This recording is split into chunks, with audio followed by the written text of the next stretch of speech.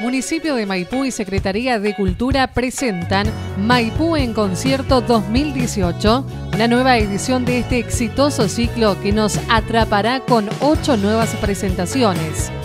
5 de mayo, Fabricio Rodríguez. Fabricio Rodríguez es un cantautor y virtuoso armoniquita argentino nativo de Villa María, Córdoba. Comenzó a tocar la armónica en su adolescencia como autodidacta entre sus referentes se encuentran León Gieco y Hugo Díaz, quien despertó su interés por la armónica cromática. A los 20 años comenzó a viajar a Buenos Aires para ampliar sus conocimientos musicales y su habilidad para ejecutar la armónica cromática y diatónica y a desarrollar diferentes estilos musicales, tales como folclore, tango, jazz, pop, blues, country y rock. 26 de mayo, Claudia Puyó.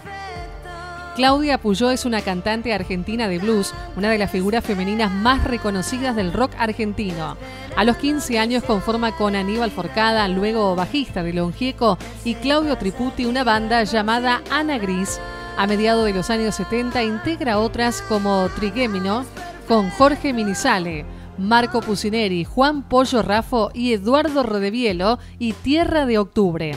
A comienzos de la década de los 80 viaja a Brasil con Claudio Triputi, haciendo el circuito underground y trabajando en el doblaje al castellano de un cortometraje, Vida y Muerte Severina, con música de Chico Buarque, de vuelta en Buenos Aires, realiza coros para Pedro y Pablo, Alejandro Lerner, Miguel Cantilo y Punch.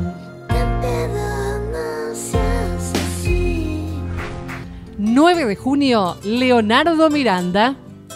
Nace en Esquel, provincia de Chubut, hace 23 años, dueño de una voz y un temperamento interpretativo único.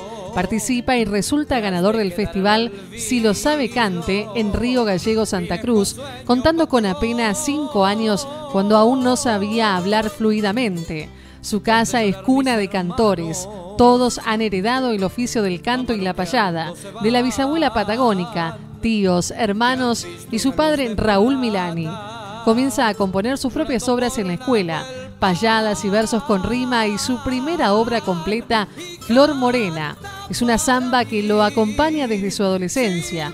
Condujo un programa de radio en su lugar de origen llamado Soy la Juventud, donde se dedicó a la difusión de la música folclórica tradicional de todo el país. Patagonia es así, tan libre como el mar misteriosa de paz.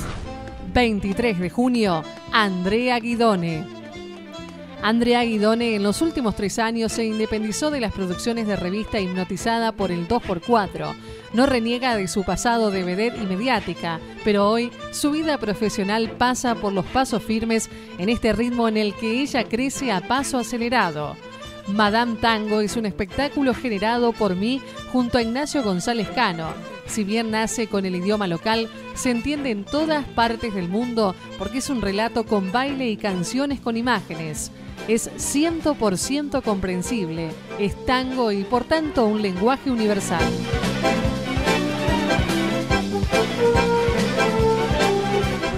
...7 de julio, Ópera Bis. Nació en el año 2002 como resultado de una búsqueda artística con el deseo de difundir la música lírica entre el público masivo, pensando la ópera como un entretenimiento, como lo que fue en sus orígenes. Integrado por María José Dulin, soprano, y Fernando Santiago, barítono, como directores artísticos.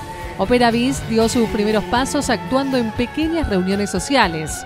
La clave del éxito de Ópera Bis es el formato de sus espectáculos, descontracturados, informales, divertidos y aptos para todo tipo de público, pero con un altísimo contenido artístico que es posible solamente por la sólida formación profesional de sus integrantes y la constante actividad que desempeñan en todos los teatros del país y también del exterior.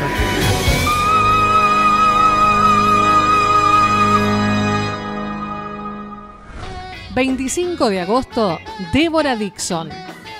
Nació en Costa Rica y desde 1984 vive en Argentina. Desde sus inicios con la Black and Blues, banda a la que perteneció hasta su disolución en 2006, Deborah Dixon ha mostrado una amplia diversidad musical que la ha llevado a poner el sello inconfundible de su voz en discos y shows de los más renombrados y variados artistas, entre ellos La Mississippi, Papo, Los Redondos, Los Ratones Paranoicos, Gillespie, Willy Croc, Indio Solari, Javier Malosetti, La Portuaria, haciéndole coros a su especial invitado David Birne, Fito Páez, Joaquín Sabina, Botafogo, Luis Robinson, Patán Vidal y la lista sigue. Actualmente continúa desarrollando su interesante propuesta musical que abarca un repertorio inmenso en la fuerza y diversidad de la música negra.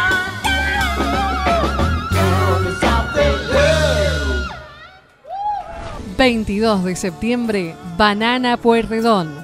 César Banana Pueyrredón, nombre con el que es conocido César Honorio Pueyrredón, es un compositor y cantante argentino de pop y pop rock romántico.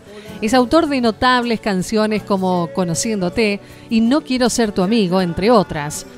Su sobrenombre Banana proviene del nombre de la banda Banana, un famoso grupo de pop rock en español que él fundara y liderara en los finales de la década del 60 y principios del 70.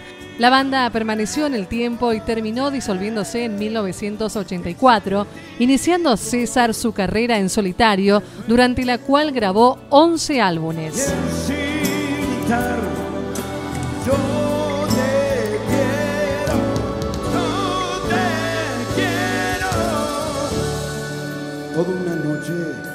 Contigo, contigo.